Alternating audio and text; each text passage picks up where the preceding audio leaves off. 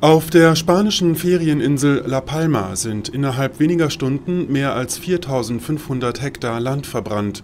Laut Behörden breitete sich das Feuer sehr schnell aus. Ausgebrochen war es nahe der Ortschaft Punta Gorda. Mindestens 2500 Menschen mussten ihre Häuser verlassen. Nach offiziellen Angaben wurde niemand verletzt.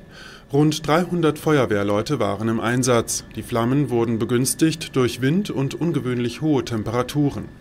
Derzeit herrscht in Spanien verbreitet Hitze. Das Land erlebte zudem den heißesten Frühling seit Beginn der Wetteraufzeichnungen. Zehntausende Hektar Land sind seit Jahresbeginn verbrannt.